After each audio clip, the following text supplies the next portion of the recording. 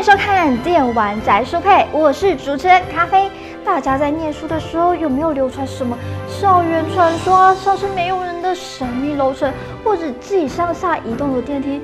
想到这我就好害怕哦。下个月有款动作解谜游戏，就是以这些神秘的校园传说为背景来改编哦。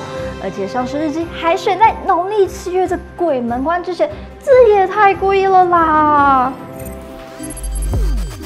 想。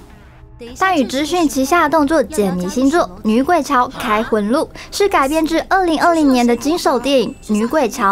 游戏以知名大学中所流传的校园传说为背景，一群不怕死的大学生为了人气与直播流量，故意去挑战这个神秘的传说。而传说中的女鬼竟然也真的现身了，让整个活动陷入了混乱。除了有原作电影中的内容之外，游戏也新增了两位电影中未描述的新角色与新剧情。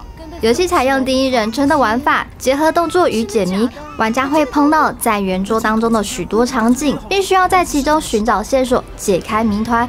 诡异的气氛以及场景，时不时还要躲避女鬼的追杀。游戏将于八月二十五日于 Steam 平台正式发售。到底玩家能不能够破除诅咒，逃出升天呢？到时候我们一起来挑战看看吧。